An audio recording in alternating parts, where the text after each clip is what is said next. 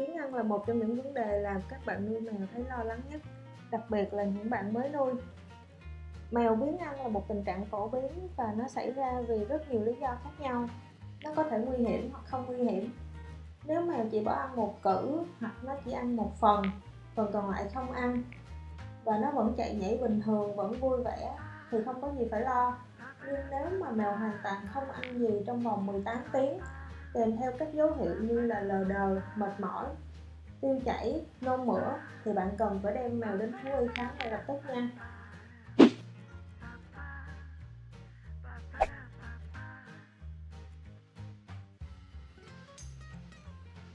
Lý do đầu tiên khiến mèo biến ăn là vì căng thẳng. Mèo rất nhạy cảm và không thích sự thay đổi. Cũng giống như con người, có những lúc mình cảm thấy căng thẳng, buồn phiền, mình sẽ mất cảm giác ngon miệng và không muốn ăn. Nếu gần đây bạn có nuôi thêm một em mèo mới, bạn chuyển nhà, nhà bạn có khách tới chơi, hoặc là bạn quá bận rộn với công việc mà bỏ bê mèo, thì mèo cũng có thể buồn. Đặc biệt là dịp Tết sắp tới này, bạn đi về quê và gửi mèo cho một dịch vụ trông giữ, thì mèo cũng có thể bỏ ăn vì nó nhớ chủ nhân. Cách khắc phục là nếu bạn đi quá lâu thì hãy đem mèo theo.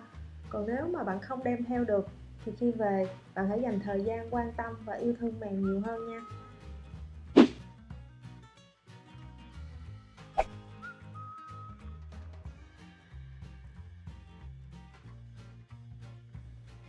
Nguyên nhân tiếp theo là mèo biến ăn là do thời kỳ động dục của mèo. Về đặc điểm sinh lý thì một em mèo con có thể trở thành mèo bố mèo mẹ trong giai đoạn từ 5 đến 9 tháng tuổi. Cá biệt có những em mèo mới 4 tháng tuổi đã có dấu hiệu động dục. Lúc này nó chỉ mong bạn mở cửa ra để nó chạy ra ngoài tìm bạn thôi, chứ không thiết tha muốn gì hết. Bạn hãy kiên nhẫn vì đây là chuyện bình thường. Sau giai đoạn này thì mèo sẽ trở lại như cũ.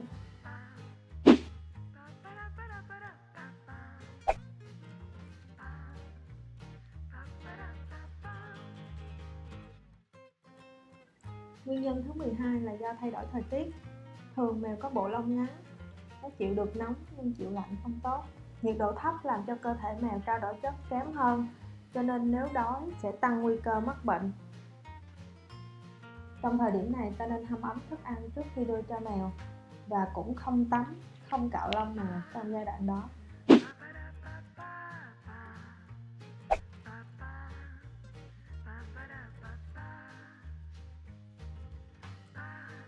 Nguyên nhân tiếp theo làm mèo biến ăn là do không được vận động trong thời gian dài.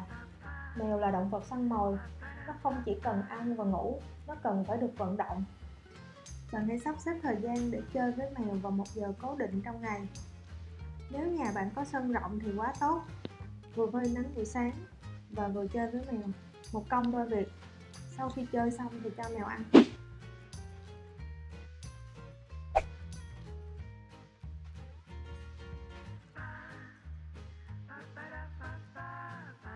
Lý do thứ 10 là mèo biến ăn là do nơi đặt chén ăn không phù hợp.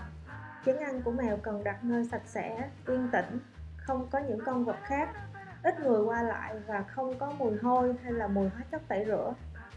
Nếu chén ăn của mèo đang được đặt ở gần phòng giặt phơi, gần nhà vệ sinh, thùng rác hay là những nơi đông người qua lại và có mùi thì bạn hãy điều chỉnh lại nha.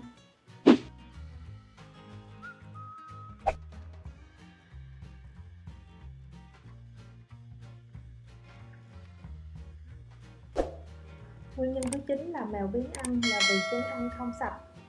Điểm này có vẻ nhiều người không để ý. Thức ăn trong chén hết sẽ được đổ thêm cho đầy, nhưng trước khi đổ thì không được rửa. Thức ăn còn bám trong chén lâu ngày sẽ bị thiêu, hôi, ẩm mốc. Con mèo nó chỉ đến ngửi rồi nó bỏ đi. Dần dần thì nó sẽ biến ăn luôn. Cách xử lý là mình hãy giữ cho chén của mèo luôn được sạch sẽ. Tốt nhất là rửa sau mỗi lần mèo ăn nếu không được thì bạn có thể rửa một lần một ngày.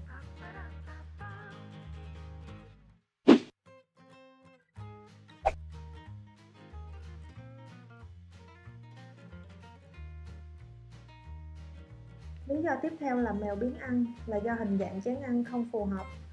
Do râu mèo dài nên nó thích ăn ở những cái chén không bị chạm râu. Nếu bạn dùng chén nhỏ và sâu lòng sẽ làm râu của mèo chạm liên tục vào chén, làm nó không ngon miệng khi ăn tốt nhất là nên dùng dĩa Nhưng nếu bạn cho mèo ăn thức ăn lỏng thì bạn hãy dùng những chén cạn và rộng nha.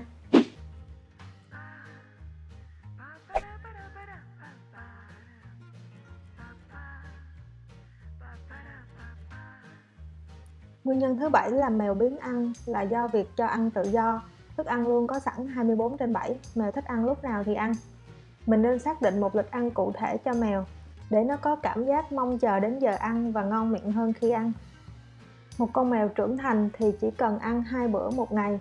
Bạn có thể cho nó ăn trước khi bạn đi làm và sau khi bạn trở về nhà. Bạn có thể tập cho nó bằng cách là đặt chén ăn xuống trong vòng 15 phút và để ở đó. Nếu nó không đến ăn thì sau 15 phút bạn sẽ cất chén ăn đi. Lần sau nó sẽ hiểu là nó cần phải ăn hết. Cảm ơn bạn đã xem hết video. Nếu có thắc mắc gì thì bạn để lại bình luận ở bên dưới nha.